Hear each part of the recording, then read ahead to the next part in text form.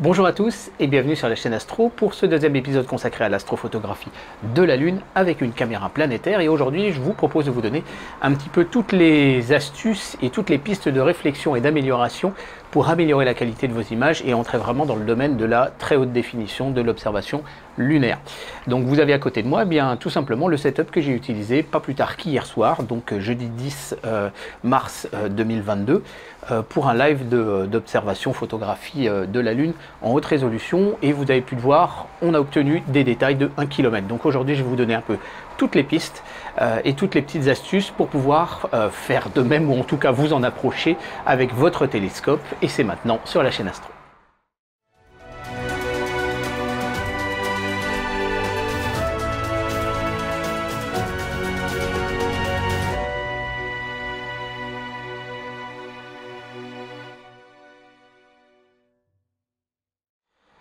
Le principe, vous l'avez bien compris, avec ces caméras haute vitesse, l'objectif c'est de faire un film avec euh, plusieurs centaines d'images euh, faites relativement rapidement dans l'objectif de figer la turbulence et c'est un des premiers problèmes que vous allez rencontrer.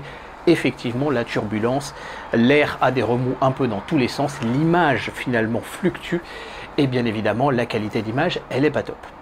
Euh, là-dessus, effectivement, plusieurs pistes d'amélioration par rapport à cette euh, question-là. La première chose, bien évidemment, c'est de sortir le télescope bien à l'avance. Beaucoup plus que pour une photographie du ciel profond et beaucoup plus encore pour une simple séance d'observation.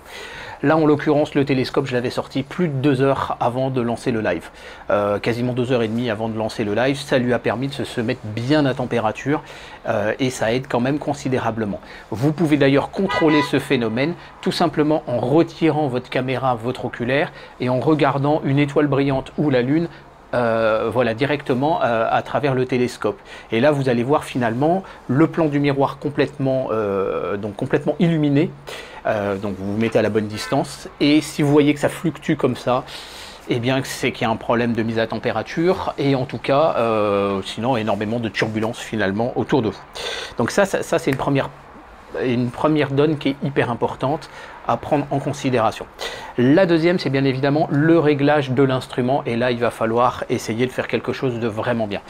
Une bonne collimation chez Shire, laser. Euh, bon, j'ai toujours pas sorti de tutoriel sur le sujet. C'est un sujet très vaste en fait et j'aimerais vous écrire un truc vraiment vraiment bien. Mais une bonne collimation est euh, indispensable. On peut faire encore mieux, c'est-à-dire carrément une collimation ensuite à la caméra sur une étoile. Ça va améliorer considérablement la qualité des images. Une bonne mise au point sera indispensable. Un masque de Batinov, euh, donc Batinov normal ou carrément tri-Batinov, peut vous aider. Néanmoins, la difficulté, ce sera de trouver une étoile. Euh, et là, vous êtes avec une caméra planétaire, vous êtes plutôt en réglage lunaire, donc plutôt euh, euh, sur un astre qui est très très lumineux, et il faudrait trouver, arriver à viser une étoile, vous êtes à très fort grossissement. C'est pour ça que moi je ne le fais pas, et je me base plutôt sur l'observation des vraiment des fins détails lunaires. C'est plus itératif. Idéalement, il faudrait que j'arrive à motoriser ce petit porte-oculaire, là, voilà, c'est un petit focus hélicoïdal. J'y travaille, mais voilà, donc idéalement bien évidemment de faire une mise au point et garder à l'esprit que avec la température qui baisse généralement de nuit, la mise au point de votre instrument va varier au fur et à mesure de la séance de prise de vue. C'est à vous de connaître votre instrument et c'est avec l'habitude que vous allez sentir ce phénomène-là. Euh, mais méfiez-vous et en même temps, ne préjugez pas trop. C'est-à-dire qu'avec la turbulence, il y a des moments c'est net, il y a des moments c'est pas net. Et euh, là, bien évidemment, il ne faudrait pas faire l'erreur de vouloir toucher à la mise au point, alors qu'en réalité, c'est la turbulence et non pas euh, un problème de mise au point. Autre phénomène, et il est hyper important, la hauteur de la Lune. Et c'est pour ça que je vous sors d'ailleurs cette série d'épisodes euh, voilà, en plein mois de mars. Euh, tout simplement parce qu'on est sur la période de l'année la plus favorable, et je vous expliquerai euh, ça bientôt, la plus favorable pour observer la Lune à peu près au moment du premier quartier. Donc c'est quand même la phase la plus intéressante, puisque vous l'avez directement en début de nuit pour l'observer. Et, et là-dessus, plus la Lune est haute, euh, eh bien moins il y a de réfraction atmosphérique. La réfraction ou la dispersion atmosphérique, c'est quoi? C'est que l'atmosphère agit comme un prisme euh, et sépare les couleurs. Donc quand vous allez euh, viser quelque chose de très très haut, vous n'avez pas nécessairement besoin de la corriger. Par contre, quand vous allez viser une lune qui est assez basse, vous allez utiliser cet énorme dispositif, un correcteur de dispersion atmosphérique. On le précédera d'une lentille de Barlow ou d'une PowerMate parce que les rayons doivent être le plus parallèles possible pour travailler correctement. Ensuite, éventuellement une bague de tilt, et en fait, plus ce sera bas, plus ce sera utile. La roue à filtre, ça c'est mon montage, mais on n'est pas obligé, on peut mettre le filtre à l'entrée éventuellement, et puis là après derrière votre caméra. Donc là après moi j'ai un, focuseur qui est là parce que je n'ai pas de, porte oculaire standard, mais voilà, ça c'est vraiment un montage avec un ADC, vous avez tout un épisode consacré au correcteur de dispersion atmosphérique sur la chaîne, et euh, ça vous permettra de travailler sur la Lune quand elle est relativement basse. Alors quand faire le choix entre l'un et l'autre? Eh bien vous faites ce jeu, là aussi ça va être l'expérience, ça va dépendre aussi bien évidemment du diamètre de l'instrument et de son grossissement maximum théorique. Euh, sur mon 400 mm, très clairement, jusqu'à 35 degrés de hauteur, il faut utiliser la DC. D'ailleurs, on l'a vu sur le live d'hier soir.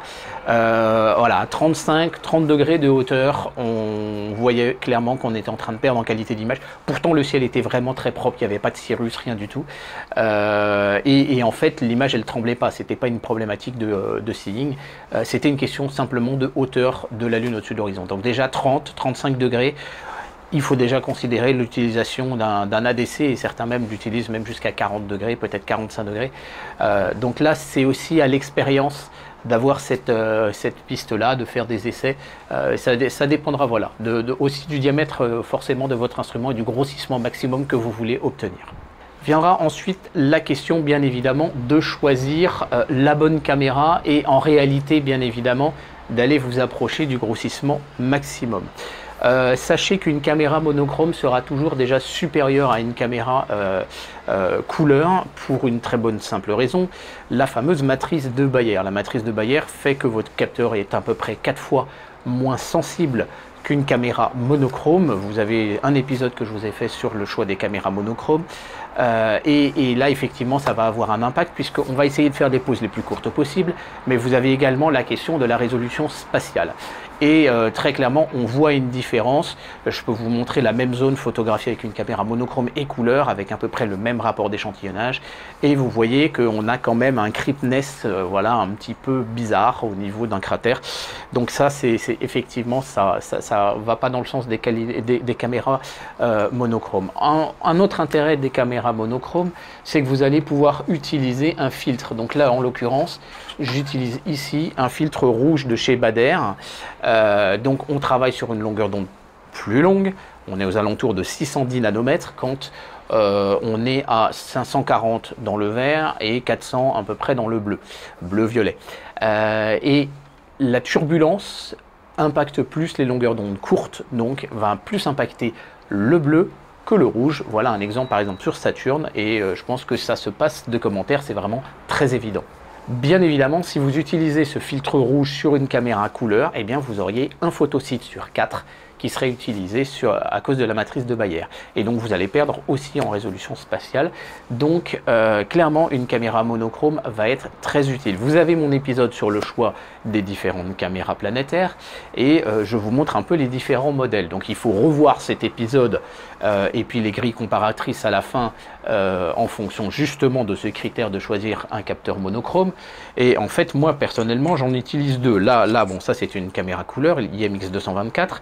Mais en monochrome, j'utilise l'IMX 178 sur celle-là ou l'IMX 174 sur celle-là. Et là, ça va dépendre des utilisations.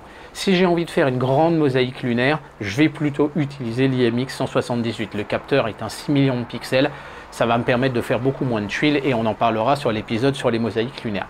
Par contre, si je veux vraiment monter en haute résolution, il est plutôt conseillé de prendre l'IMX 174. D'abord parce que le capteur a une très bonne dynamique, et puis surtout un capteur de 2 millions de pixels euh, par rapport à la bande passante finalement de votre USB, vous allez pouvoir faire de la prise de vue à 130 images secondes alors que je suis à 50 images secondes sur celle-ci.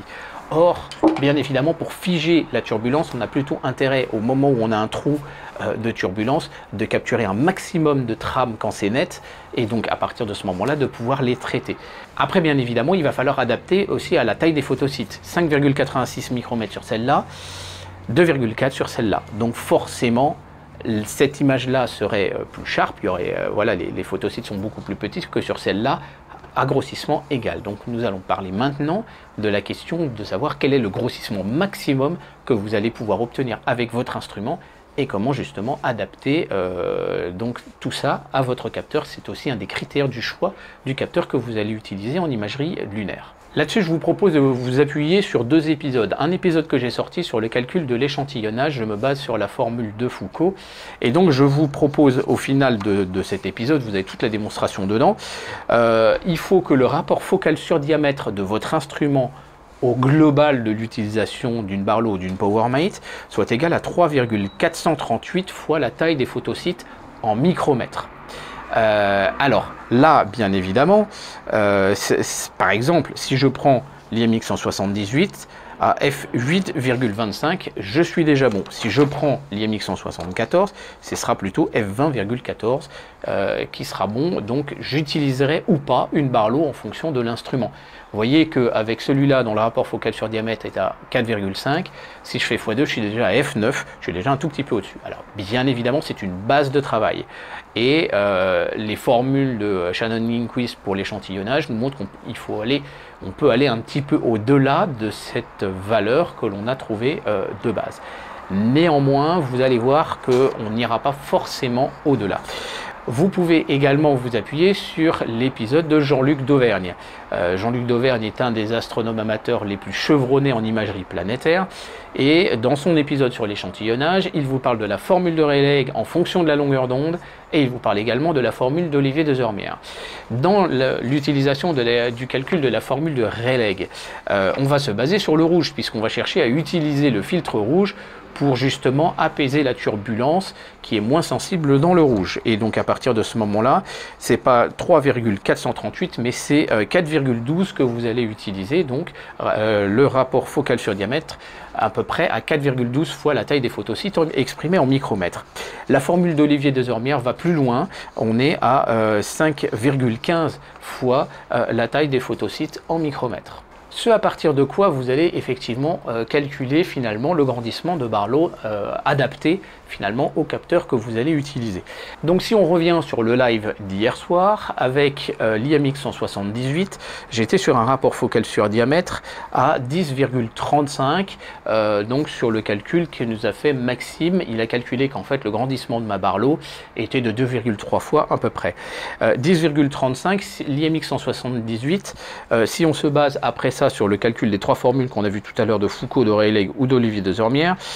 Euh, donc je pouvais travailler à F 8,25 euh, sur la base de Foucault, 9,88 euh, sur la base de Rayleigh et même 13 et quelques sur la base de Zormière.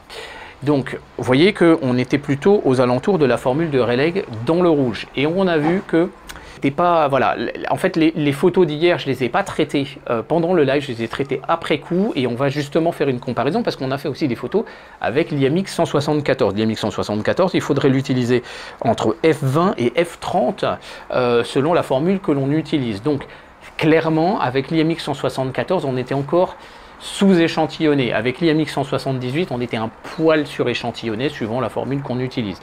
Euh, et là-dessus, on a vu que, voilà, sur la base des images traitées en définitive, on était un tout petit peu limite sur celle-là, mais en choisissant vraiment les bonnes trames, on était quand même bon. Et avec celle-là, on sent qu'il y a de la réserve, qu'on sent que le télescope a de la ressource.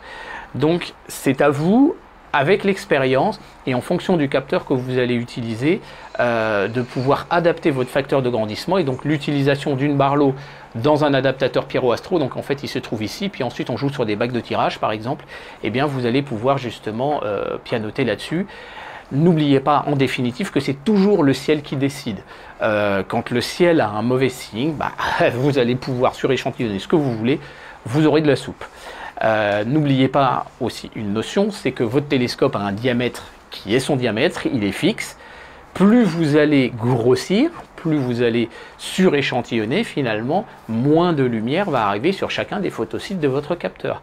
Donc il va falloir allonger les temps de pause et ou augmenter le gain. Et là, il va falloir trouver également le bon compromis. Euh, n'oubliez pas une chose, c'est que on a coutume de dire en photo avec un appareil photo numérique que augmenter les ISO, augmenter le gain, euh, augmente le bruit. Alors c'est vrai et c'est faux également. Euh, c'est vrai en réalité parce que vous avez le fameux triangle d'exposition entre l'ouverture, le temps de pause et le gain. Et en réalité, euh, pour avoir une même exposition d'une scène donnée, que ce soit une photo prise en journée ou une photo de la Lune, eh bien vous jouez sur les trois paramètres. Quand vous réduisez l'un, vous augmentez les autres. Donc si vous diminuez, euh, si vous augmentez les ISO, vous allez soit fermer l'ouverture, soit diminuer les temps de pause. Et en réalité, le bruit, il est lié à la question du temps de pause. Euh, là, bien évidemment, l'ouverture, vous n'allez pas la réduire. C'est le rapport focal sur diamètre de l'instrument, mais aussi de la Barlow. Si vous augmentez justement d'ailleurs euh, la Barlow, euh, donc le rapport focal sur diamètre de l'instrument, bah, vous faites mécaniquement quelque part, vous diminuez l'ouverture. et donc là-dessus, effectivement, vous n'avez plus qu'à jouer sur le temps de pause et sur le gain pour avoir la même exposition. Et là, il faut trouver le bon compromis. Le bon compromis, il va dépendre du capteur. Si vous avez un capteur à double étage, c'est ce, ce décrochement que vous voyez dans la courbe, euh, eh bien, ça peut être intéressant de travailler juste à l'activation de ce deuxième étage. Là, à ce moment-là, on est sur vraiment quelque chose de très, optimisé. En même temps, augmenter le gain diminue la dynamique, et ça, quand on a des zones très sombres et des zones très brillantes sur la surface de la Lune, c'est pas top. Donc il faut trouver le bon compromis. Le bon compromis, en réalité, on va travailler en priorité vitesse. N'oubliez pas qu'on veut s'affranchir de la turbulence. Et la turbulence, elle a une certaine composante fréquentielle en fait. La moyenne de la turbulence sur 10 secondes, eh ben, elle est nulle, entre guillemets, c'est complètement lissé. C'est pas net, mais c'est lissé. Euh, et en fait, il y a plusieurs composantes fréquentielles. Et donc, il va falloir trouver le, bon rapport de vitesse. Et globalement, l'expérience nous montre qu'entre 2 et 4 millisecondes, on est sur quelque chose de pas mal. Travailler à 1 milliseconde, ça va se faire en augmentant forcément le gain ou, en réduisant le rapport focal sur diamètre, mais quand vous allez vraiment monter le rapport focal sur diamètre pour être optimisé à votre photosite, et eh bien là, euh, très clairement, euh, si vous travaillez à 1 milliseconde, vous allez être obligé de monter à fond le gain. Donc, voilà, moi je conseille de, de, bien trouver le bon compromis en fonction de la nature du capteur et en fonction donc euh, de ce temps de pause et c'est à vous de sentir. J'ai pu voir par expérience que ça pouvait être aussi intéressant d'avoir des temps de pause plus longs et un, gain plus faible, même sur l'IMX 174. Dans les paramètres qui vont nous permettre d'améliorer aussi la qualité de notre image, c'est finalement la durée de la session et le nombre d'images par seconde. Effectivement, même si je fais, euh, voilà, avec cette caméra, je fais des, des, photos à 130 images par seconde, avec celle-ci, je suis à 50 images par seconde en pleine résolution. Alors je peux soit réduire la dimension du cadre de l'image, le euh, ROI, Region of Interest, euh, soit bah, effectivement on va changer éventuellement de caméra. Mais du coup, sur cette caméra-là, pour avoir le même nombre de trames, euh, eh ben, je vais faire par exemple 10 secondes d'acquisition, ce sera suffisant. Sur celle-là, il va falloir que je sois plutôt aux alentours de 30 secondes d'acquisition. La taille des fichiers, du coup, va avoir un impact. N'oubliez pas également, et là je vous l'ai montré dans l'épisode sur le, test des ordinateurs pour l'astronomie, euh, il est hyper important d'avoir un stockage SSD, parce que la vitesse d'écriture est nettement supérieure, et d'avoir une caméra USB 3, parce que le débit est clairement nettement supérieur. Ça aussi, c'est une piste à ne pas négliger. Si vous avez un disque dur mécanique alors que vous avez un port USB 3, on a mis en évidence que le disque dur mécanique allait réduire la vitesse d'acquisition. Un autre facteur extrêmement important à prendre en compte dans euh, l'acquisition de vos images, c'est les mouvements parasites de votre instrument et globalement le tremblement de l'image. Là, on n'est pas, on ne parle plus de la notion simplement de, de, de, de signe, de turbulence et d'image qui fluctuent, mais là vraiment d'un d'un fort déplacement de l'instrument. Euh, vous avez avec ces caméras CMOS une lecture du capteur qui se fait par balayage. Euh, sauf exception de ce qu'on appelle une caméra global shutter. Mais sinon, les caméras CMOS généralement sont des rolling shutter. Le problème, c'est qu'au moment où on va lire la première ligne et le moment où on va lire la dernière ligne, eh bien, il y aura un delta T euh, donc dans le temps finalement de, lecture du capteur. Si l'instrument se déplace et si la visée de l'instrument se déplace pendant la prise de vue, à ce moment-là, il va y avoir un décalage. Si votre décalage, ce mouvement se fait verticalement, vous allez avoir un effet de compression et d'accordéon finalement vertical. Si le mouvement se fait de façon parasite, mais cette fois latérale, vous allez avoir une déformation trapézoïdale. Ces deux phénomènes sont bien évidemment rédhibitoires au moment du traitement et j'ai pu expérimenter sur des prises de vue faites en février dernier qu'avec l'IMX 178, qui est un rolling shutter, euh, eh bien carrément, AutoStackert, au moment de l'alignement, n'arrive plus à reconnaître euh, la zone qu'il y a sous les, euh, points, euh, donc les AP qui vont servir à faire ensuite l'alignement, parce que l'image finalement se déforme beaucoup trop. Et donc c'est une des raisons pour laquelle justement les caméras à base d'IMX 174 sont considérées comme étant des références en lunaire et en solaire, parce que ce sont des caméras global shutter. Là à ce moment-là, ça prend la photo d'un coup, et ensuite ça fera la lecture et le transfert, mais l'avantage c'est qu'il n'y aura pas de déformation parasite de l'image en fonction des mouvements parasites de l'instrument. Et l'alignement avec AutoStackert est beaucoup beaucoup plus facile. Euh, comme elle a des gros photosites, elle a une dynamique complètement dingue, euh, elle a le double ampli et du coup cette caméra s'impose clairement comme une, énorme référence en imagerie planétaire, euh, enfin en imagerie lunaire, quand on veut faire de la haute résolution sur la Lune. Voilà, j'aimerais en conclusion de cet épisode vous dire simplement que la peur des erreurs est la pire des erreurs. Très belle phrase que disait mon prof de philo et euh, ça s'applique tellement à l'astronomie. Euh, donc lancez-vous. Lancez-vous avec la caméra de guidage que vous avez, même si c'est une caméra couleur. Apprenez progressivement, euh, faites vos expérimentations. Je vous ai donné à peu près toutes les bonnes pistes pour améliorer la qualité de vos images. Un, une structure ouverte, bon alors là j'ai une structure qui se déforme considérablement. Donc c'est pour ça que je souffre énormément lors des lives et que quelquefois je vous claque le mal de mer.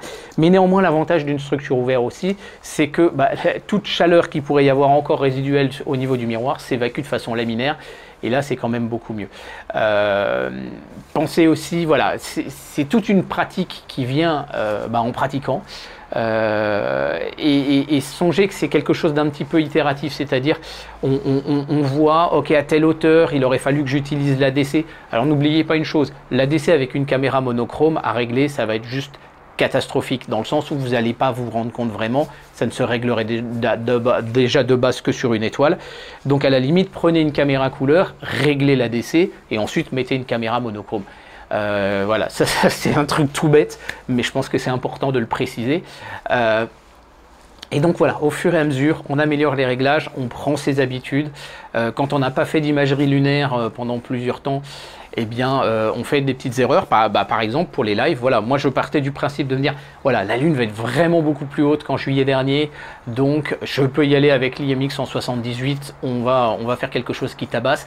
Effectivement, on a eu des très belles photos et en même temps, vous voyez, est-ce que j'aurais dû mettre la DC ou pas lors de ces lives on a vu qu'avec la 174, déjà techniquement avec la 174, c'est quand même beaucoup plus facile pour animer le live parce que le PC ramait beaucoup moins. Ça, c'est aussi quand même un, facteur à ne pas négliger. Mais voilà, c'est quand on n'a pas fait depuis longtemps, il faut euh, une ou deux séances pour se remettre un petit peu dans le bain. Mais là, je vous ai donné vraiment toutes les pistes. Et donc avec ça, j'espère que euh, ça vous aidera à améliorer la qualité de vos prises de vue. Je vous donne rendez-vous très très bientôt sur la question justement du traitement des images lunaires parce que que ce soit sur une résolution moyenne ou de la très haute résolution, vous allez voir, c'est le même principe. On va aller avec AutoStackert, on va faire un peu d'ondelette et vous allez voir, on va avoir des très très belles photos. Alors bien sûr, vous aurez sans doute des questions, vous aurez sans doute aussi des remarques, des petites astuces à me partager. Alors n'hésitez pas, bien évidemment, à les partager dans l'espace commentaire. Euh, on est tous en train d'apprendre. Moi-même, j'apprends encore, bien évidemment, à chaque sortie astro. Euh, donc voilà, je vous remercie de votre attention. N'hésitez pas à consulter la playlist sur la photo lunaire, vous avez pas mal de trucs là-dessus, à nous rejoindre sur le serveur Discord, à partager cet épisode autour de vous. Et je vous dis à très bientôt sur la chaîne Astro. Merci, au revoir.